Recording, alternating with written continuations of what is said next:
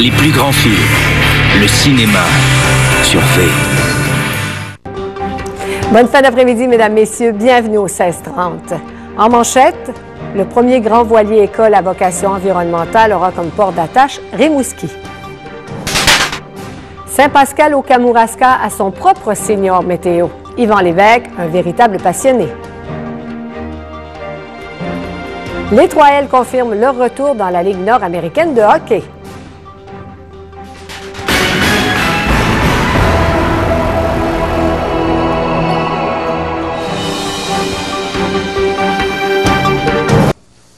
Yvan Lévesque de Saint-Pascal au Kamouraska est un véritable passionné de météo.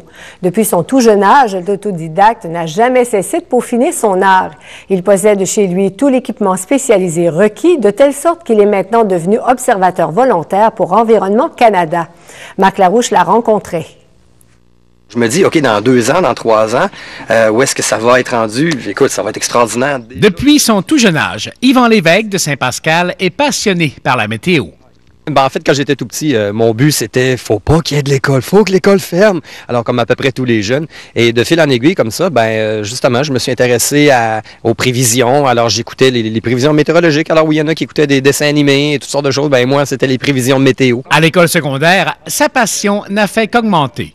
On avait des petits logiciels qui permettaient justement de cumuler toutes les statistiques météo.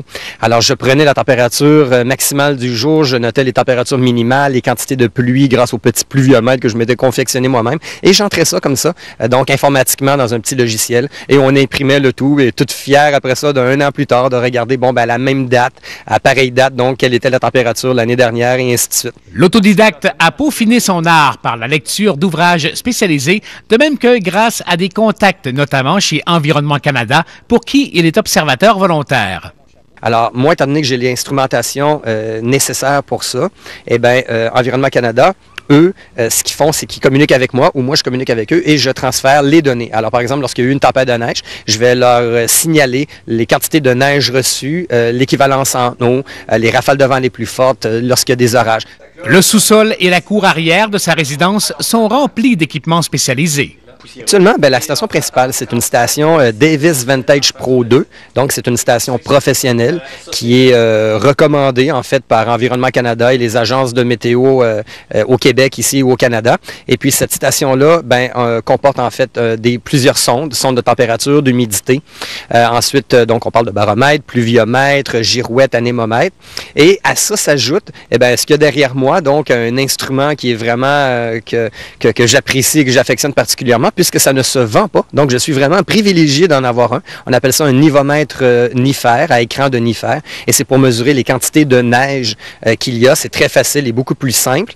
Et ensuite aussi, ça peut mesurer, euh, devenir un pluviomètre et mesurer aussi les quantités de pluie tombée. Au fil des années, ce qui n'était pour Yvan Lévesque qu'un passe-temps a pris des proportions beaucoup plus sérieuses je voulais trouver une façon justement de partager euh, mes connaissances de un, ma passion, et partager aussi toutes les prévisions que je faisais. Et puis depuis euh, décembre 2011, eh bien là, on a le site qui est là actuellement, donc un site qui est accessible euh, à la grandeur de la planète, et puis qui me permet justement de faire mes prévisions, de les partager sur le site Internet.